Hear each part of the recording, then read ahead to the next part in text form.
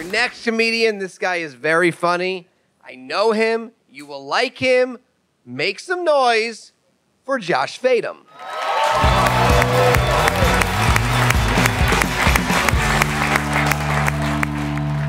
Y'all seen that movie where Sandra Bullock take that black boy and make him right?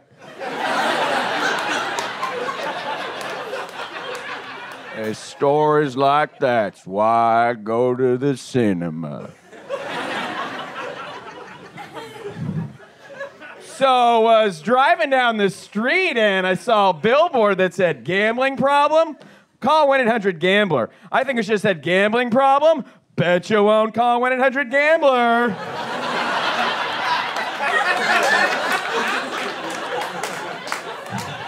Hey, ever notice every time you drink asparagus pee, it makes your breath smell funny? Guys, who has time to pee? I usually do half in the toilet and finish on the way back to the couch. How you doing, nervous energy? Hands folded, arms crossed. Afraid I was gonna talk to you. I just did. Wasn't so bad. nice guy, wedding ring, married, honorable man. Would you cheat on her? okay, yeah, babe, bros, let's do it, bro, right?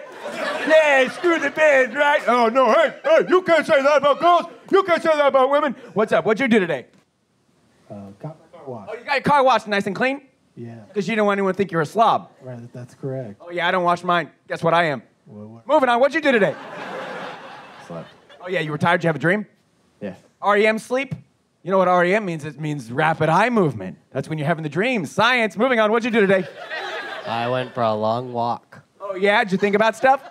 Kind of meditative, right? Yeah. Good for the brain. You move stuff around. Yeah. Yeah. Did you ever say I hate myself? Yeah. I said it before too. you ever notice every time someone says I hate myself, everyone goes oh. But if they say I love myself, everyone goes ugh. but if you act like you hate yourself, everyone goes ugh. But if you act like you love yourself, everyone goes hey. Get to know that guy.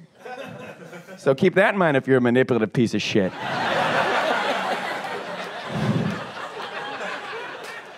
Hey guys, you know in life when people make baseball metaphors, step up to the plate, home runs, you get to first base, did you score? What if in baseball it were swapped and the announcer was like, he's fingering the pussy? he just touched boobies! He's going all the way around the penis in vagina! Cubs win. yeah, right? Give myself a palm reading real quick. Great.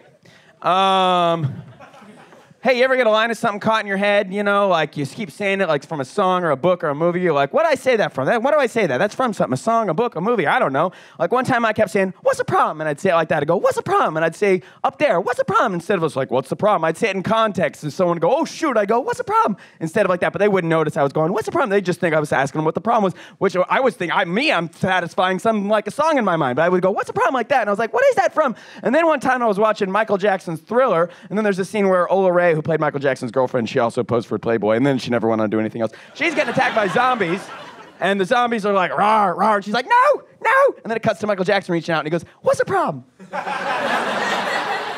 I was like, oh yeah.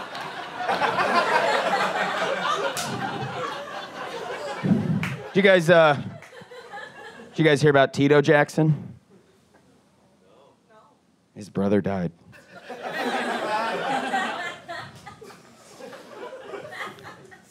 Hey guys, watch that. Try to turn a Back to the Future reference into a joke. Doc, you tell me you built a time machine? Oh, DeLorean, precisely. The way I see it is going to build a time machine. You might as well do it some style.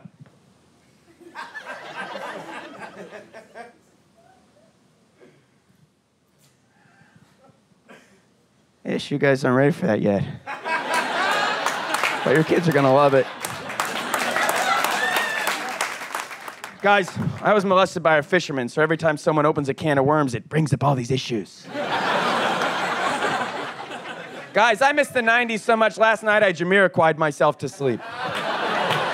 Um, hey, you, know, you ever go to the restaurant? You heard of these things, restaurants? You ever go to the restaurant and, uh, and you order the food and you're eating your food and um, there's usually the waiter or waitress will come up to you and say one of two things. One of them I like, one of them I don't like. The one I like, you're eating your food, yum, yum, yum, yum, yum.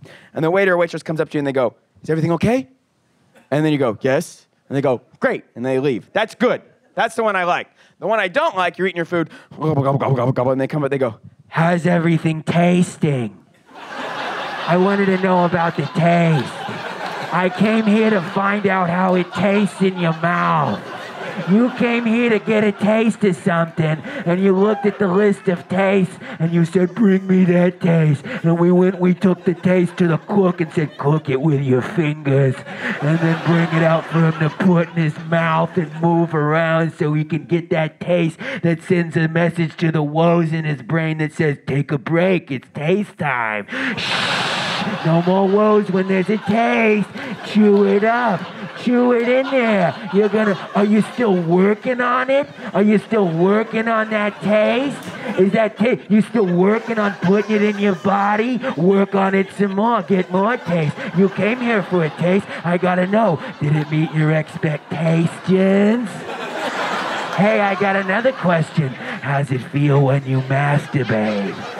What? You just told us about other parts of your body. We want to know it all. We want it all.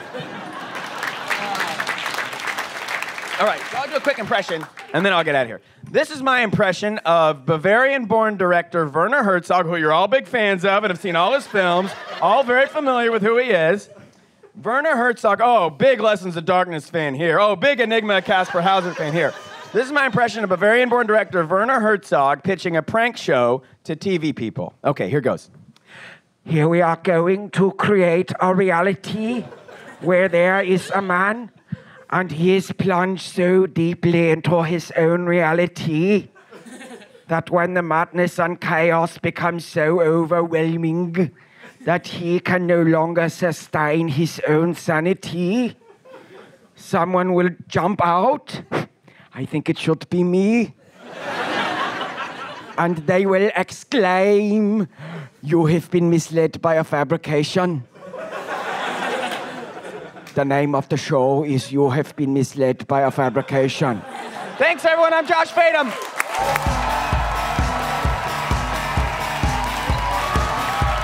Thank you so much for watching Coming to the Stage. I'm your host, Dan Levy.